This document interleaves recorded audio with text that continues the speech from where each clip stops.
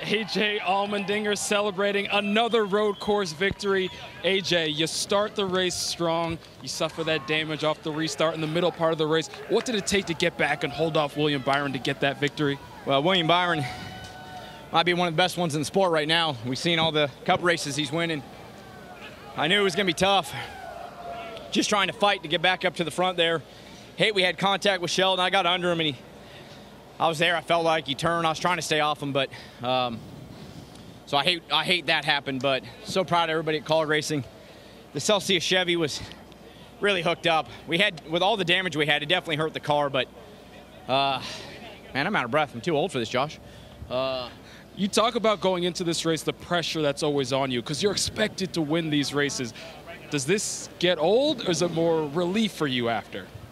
Heck no, it's, uh, I spent a lot of years not winning anything. So I'm going to celebrate everyone like it's my last one. You never know, but um, as much pressure as I put on myself, that's I'm always going to try to live up to it.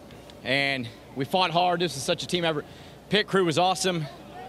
Um, just so proud of everybody. I'm just so lucky to be a part of this Kaulig Racing team.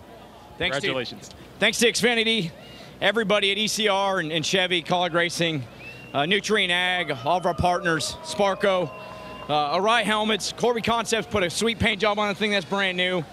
Um, Action Industries, everybody at the shop, all the men and women, thank you for believing in me and giving me this opportunity every week. Love you guys. Congrats, AJ.